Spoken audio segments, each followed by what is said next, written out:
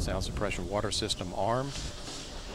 T minus 10, 9, 8, 7, 6, 4, 3, 2, 1. And liftoff of Space Shuttle Atlantis. A final visit to enhance the vision of Hubble into the deepest grandeur of our universe.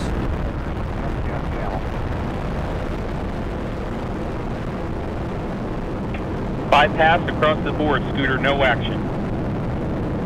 Houston now controlling, Atlantis on its way.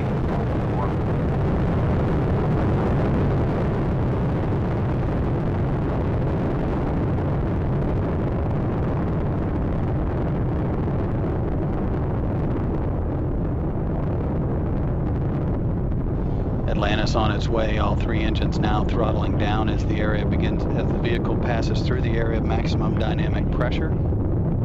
Atlantis, Houston, no action on the MPS H2 out P. Houston, we copy, no action. Atlantis, go at throttle up. Houston, Atlantis copies, go at throttle up.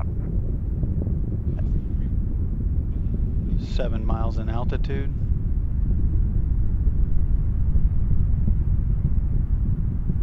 Altitude 49,000 feet.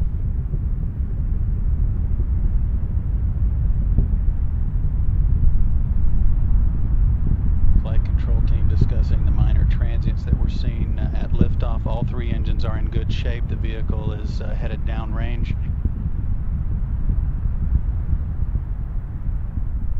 All three hydraulic systems in good shape, as are the fuel cells. Atlantis is 18 miles uh, and altitude downrange 23 miles. Already traveling 2,500 miles per hour, approaching staging the burnout of the twin solid rocket boosters, which have been burning fuel at a rate of about 11,000 pounds per second.